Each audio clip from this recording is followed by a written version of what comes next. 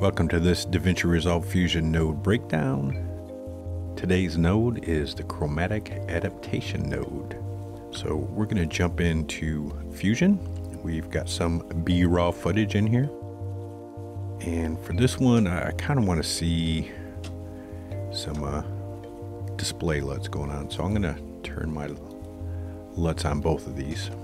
The chromatic adaptation node allows you to transform your image's uh, lighting from kind of one Kelvin to another. And not just change footage, this is also useful. Uh, this node is useful when, say, you've got monitors that have some weird tint going on. You can also use this to actually retint the footage so it's kind of correct. But primarily, I, I, use this as a subtle node just to change my uh, color temperatures of my footage. Knowing the co color temperature that you were shot in is kind of helpful. So if we actually go to the, the color page, we can see right here with this footage, I shot at uh, 5600 with zero tint and zero exposure. So I know exactly what uh, color temperature I shot this footage in. So if we jump back into Fusion and we add a chromatic adaptation node, and we'll stick it in there. Also, another thing to note on this node, you kind of want it at the end of your uh, your chain. So anything you're doing in here, you want to make sure this is affecting everything. Because if you put it up front and then change some of your stuff, it, it might give you some weird results. So you want this kind of at the end of your chain here. So what this node is doing is offering you multiple methods of doing math. So cat02 is the default method, which is fine. And all these methods that are listed, they, they kind of have their own little quirks. And uh, they'll all kind of change coloring a little bit if you have something super, super uh, saturated. Like say your blues are super saturated, it might change it purple. So be careful what you're doing if you have super saturated images. Now, as far as methods go, I usually use Bradford Linear or Von Kries because this is available in pretty much any software I use, these two methods of, of, of math.